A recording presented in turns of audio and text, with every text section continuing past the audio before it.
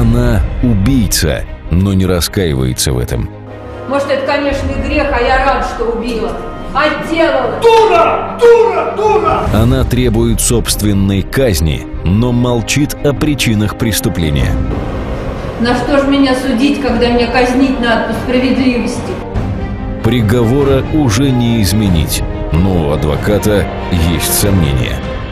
Это же была самозащита, так? Так осудились. Да какая там защита? Да раньше надо было защищаться, а теперь ж чего?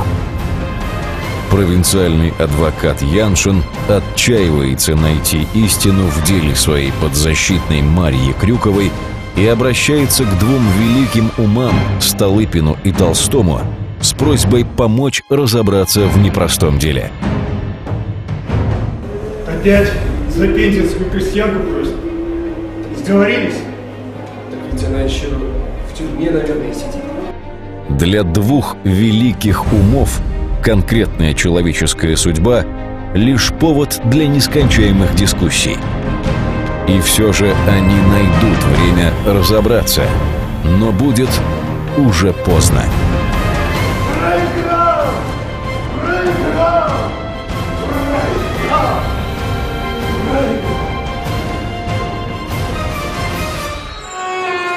Я был в восторге.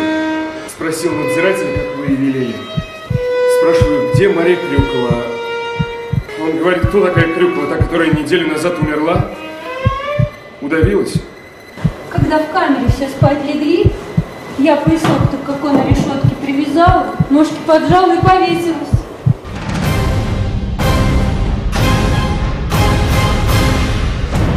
История одного преступления.